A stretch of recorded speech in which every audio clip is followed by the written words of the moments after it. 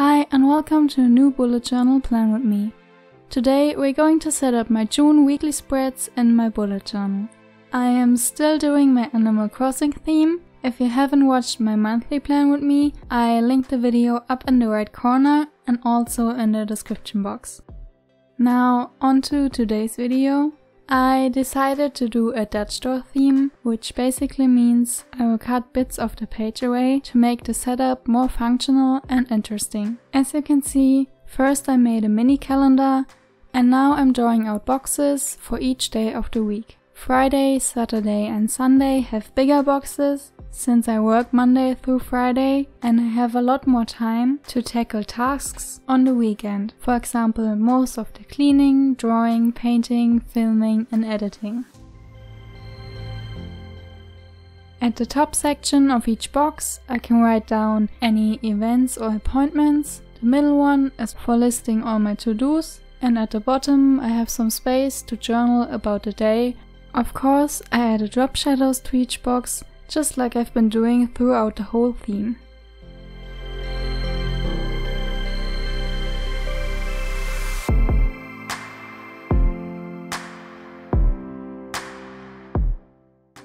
After that, I colored some days in the mini calendar, standing for appointments, school stuff, and birthdays. Probably half of my family members have their birthdays in June, so it's always a super busy month. Then I started decorating using some craft paper and my self-made fake Animal Crossing stickers. Therefore I used marker paper and my new Ohuhu markers. I made a video where I tested and reviewed the 72 color set, so in case you want to check that out, it will also be linked in the top right corner and in the description box.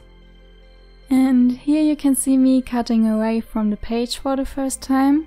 I will prepare all the weekly layouts and each time cut away this top right section so that I can flip through all the weeks but still be able to see the upper part with my mini calendar and so on.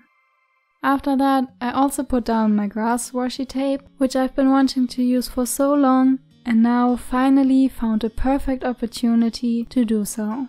Then I did some more decorating and started to do the box layouts again for the next weeks.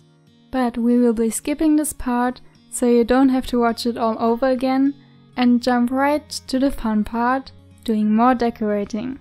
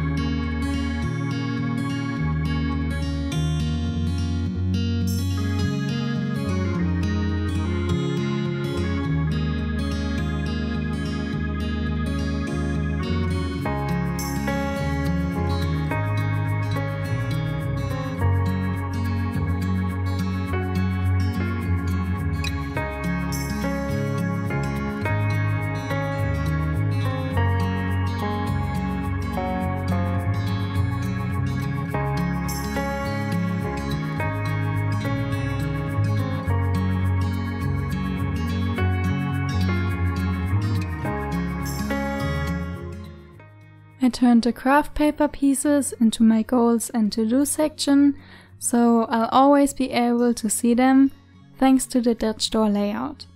And that's it for my weekly spreads. I hope you enjoyed this video. If you did, please give it a thumbs up and subscribe to my channel. If you want to know what supplies I used, check out the description box. And if you want to see more of my art or my bullet journal spreads, you can click on another video or check out my Instagram at arts underscore melina or my Twitter page. Those links are also in the description box. See you on my next video. Until then, bye!